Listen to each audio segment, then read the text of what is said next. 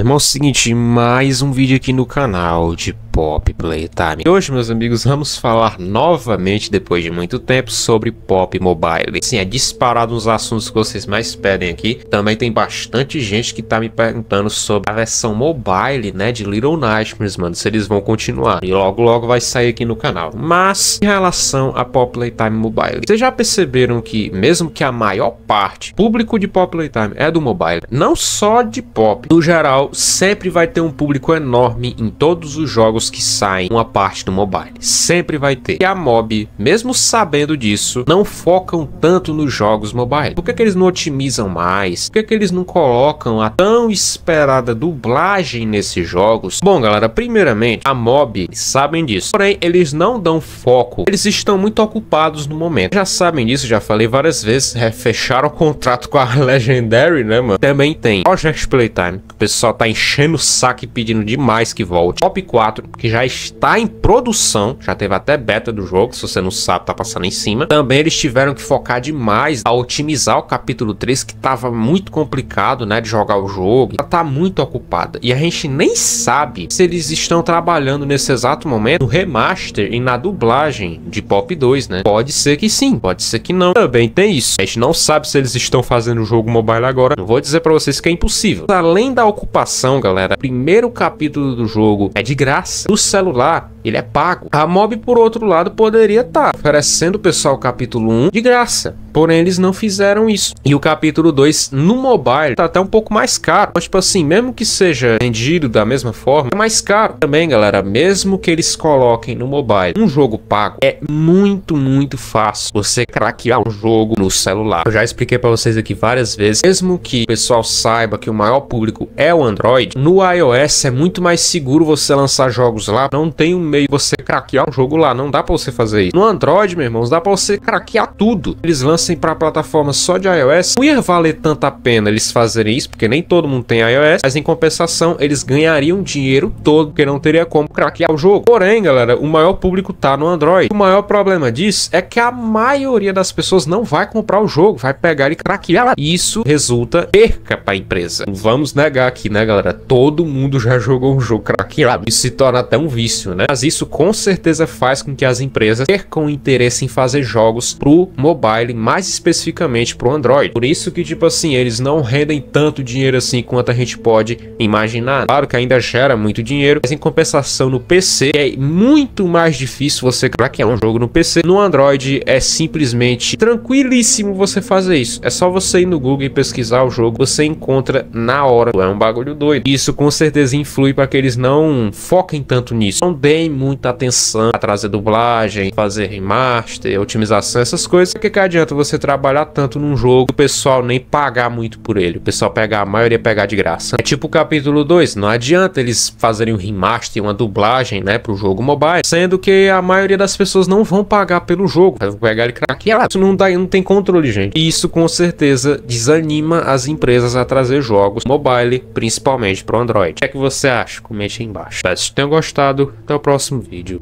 Valeu!